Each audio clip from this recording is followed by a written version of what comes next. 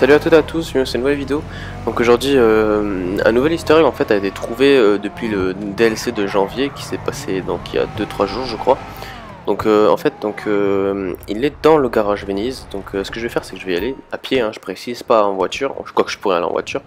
Et donc regardez cette, regardez cette voiture jaune. Ça vous dit rien? Cette voiture jaune. Regardez peut-être de devant, vous verrez mieux. Non, vous voyez pas cette voiture jaune vous dit rien? Maintenant regardez cette voiture jaune. Et regardez la voiture bleue. Faites toujours pas le rapprochement. Regardez bien.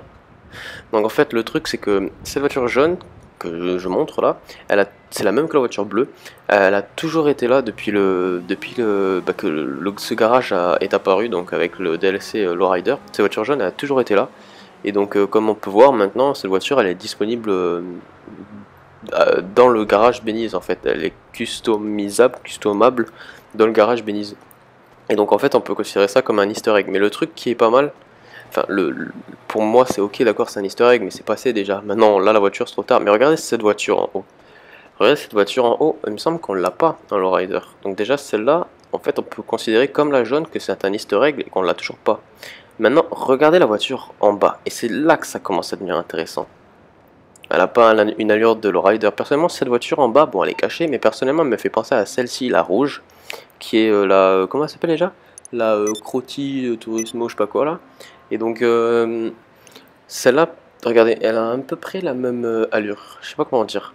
Donc si si ça se passe la même chose qu'avec l'autre voiture jaune qu'on peut voir à l'entrée, ça voudrait dire qu'ils mettent cette voiture dans le garage en tant qu'easter egg et qu'elle devrait sortir dans un futur DLC et qu'on pourrait la customiser customer, pardon, désolé, hein, j'arrive pas du tout avec ce mot, qu'on pourrait la customer en fait euh, dans ce garage. Donc euh, par contre c'est une super sportive je crois, donc je la verrai pas en lowrider, en rallye euh, pas trop non plus.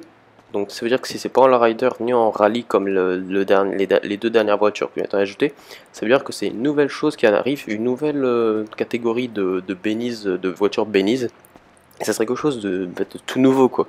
Donc euh, voilà, c'est tout pour cette vidéo, donc euh, pour cette vidéo euh, easter egg. Donc dites-moi ce que vous en pensez dans les commentaires parce que je suis un peu confus. je suis un petit peu confus en ce moment. Et dites-moi ce que vous en pensez dans les commentaires. J'espère que cette vidéo vous a plu et moi je vous dis à très bientôt.